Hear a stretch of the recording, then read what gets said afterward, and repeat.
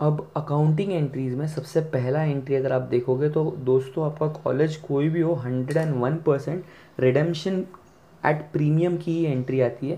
क्योंकि अगर प्रीमियम की एंट्री आपके कॉलेज में नहीं डालेंगे तो एक स्टेप कम हो जाती है।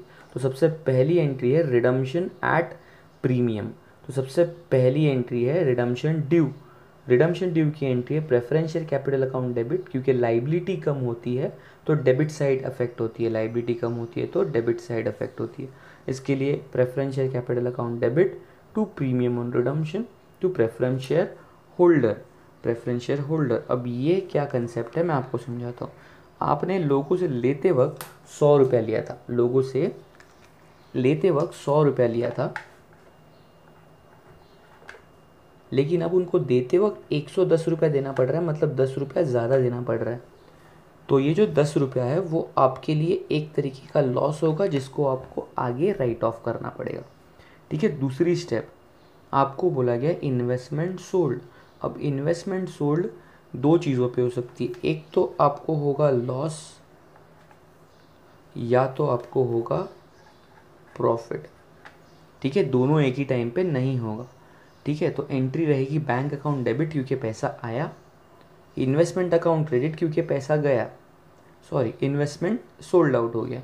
Asset comes in asset goes out अगर लॉस हुआ तो debit all expenses and losses अगर प्रॉफिट हुआ तो credit all incomes and gains इसके बाद आपको दिखेगा फ्रेश इशू अब तीन तरीके के फ्रेश इशू होते हैं। सबसे पहले fresh issue at par fresh issue at premium fresh issue at discount par हो प्रीमियम हो डिस्काउंट हो, पैसा तो आना ही है, क्योंकि आप शेयर्स बेच रहे हो तो डेबिट वॉट कम्स इन और लाइबिलिटी बढ़ रही है, इसके लिए तीनों एंट्रीज में E S C that is equity share capital credit होगा। अब अगर प्रीमियम है तो आपको एक्स्ट्रा पैसा मिलेगा, उसको बोलोगे सिक्योरिटी प्रीमियम अगर डिस्काउंट है तो आपके पास से पैसा कम आएगा मतलब नाइन्टी रुपीज़ आएँगे, दस का डिस्काउंट होगा, और hundred rupees equity share capital रहेगा। ठीक है, इसके बाद नेक्स्ट एंट्री होती है, वो है creation of C R R अब creation of C R R में आपके पास, मैंने लास्ट वीडियो में बताया था कि फ्री रिज़र्व आप creation of C R R free reserve में से ही बना सकते हो। अब फ्री रिज़र्व की लिस्ट मैंने आपको लास्ट वीडियो में भी बताई थी, वो है P N L general reserve revenue reserve investment fluctuation reserve इसी से आप क्या क्रिएट कर सकते हो? सी आर आर अब इसके बहुत सारे फॉर्मूलेज है, लेकिन इसका मैं आपको एक सिंपल सा फॉर्मूला बताता हूँ. C R R is equal to P S C minus E S C ये फॉर्मूला हर सम में अप्लाई नहीं होगा, लेकिन 80 परसेंट ऑफ़ द सम में अप्लाई होगा. पीएससी कौन सा वाला? जिसकी आपने जर्नल एंट्री पास की. ईएससी कौन सा वाला? जिसकी आपने जर्नल एंट्री पास की. मतलब आपके एंट्रीज में जो आपने डेबिट में प्रेफरेंस शेयर लिखा था उसमें से आपको फ्रेश इशू का ईएससी माइनस करना है।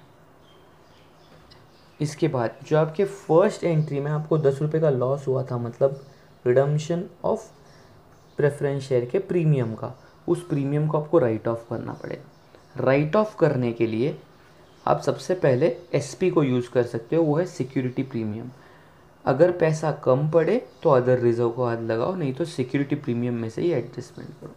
And last entry is settlement of preference share अब सेटलमेंट करते वक्त डेफिनेटली होल्डर को पैसा मिलेगा।